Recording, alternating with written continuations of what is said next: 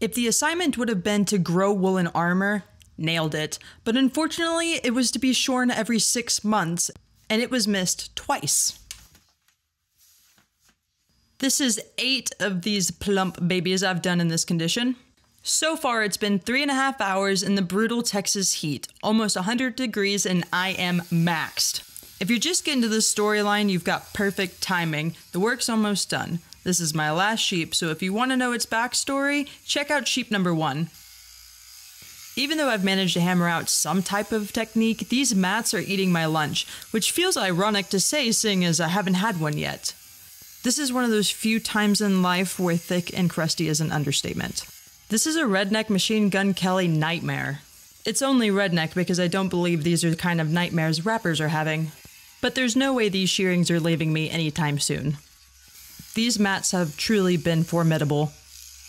This was not the only job I had scheduled for the day. I had several more, so I needed to move quickly, but that's not really possible when shearing overgrown sheep. Just a bit of perspective here. On a normal sheep, I get to stand up and take a break every three minutes. But with matted sheep from hell, I'm working three to five times as long. There's no time for breaks in between if I'm going to have any time left in the day for any other sheep. But I am truly gassed at this point, guys. My body is starting to give out on me, actually. My arms have started giving out on me. What can I do to help Easy you? does it. I couldn't hear Darian through my headphones, but it doesn't really matter because the only thing I can do is keep powering through.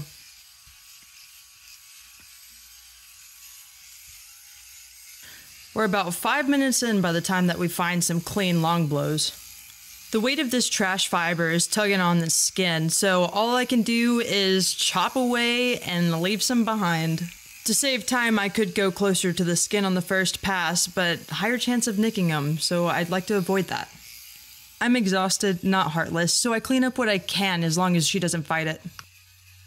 Obviously, this is intended for comfort, not looks, so if she doesn't want to stay for it, I don't really care about it.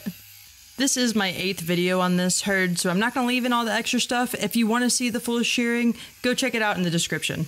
This ewe seems to have a no mercy policy. It doesn't matter how hard I've worked or what my intentions are, she still wants to kick my ass.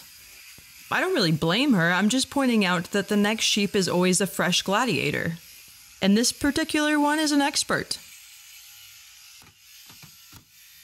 Scope out the precision in that kick. Bam! Nailed it. That could have been my face. You would have liked that, huh, Sheepy? But then there would be nobody there to help you get out of this prison of a jacket. Likely she reacts this way because those mats are pulling on her skin, but there's not a lot I can do about that except remove them. The black lines left behind on her body are from where the mats pull on her skin and cause edema, so I know that this is to feel better for her. Even if she doesn't understand it. But once I get through this last little bit here, I can pop her head out and make her a lot more comfortable. Yeah, that's much better. I'll be able to finish her from here no problem. But these mats are still tugging on her skin quite a bit, so it's taking me a long time to maneuver all of that and try to get her out nick free. We made it. And she's looking fresh as hell. Me? Not so much.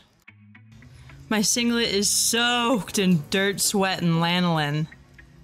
Oh, don't you just want a cup of that juice? Oh man.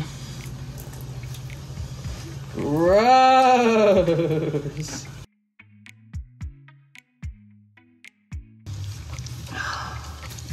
There's her neck.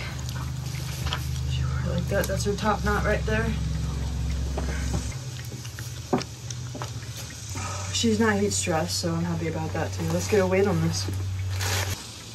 Mmm. 14? Oh, uh, 14 pounds. That's massive. It's heavy. But man, she had a lot of spunk in there too. She wasn't gonna let me get those 14 pounds off easy, but I know she's feeling better.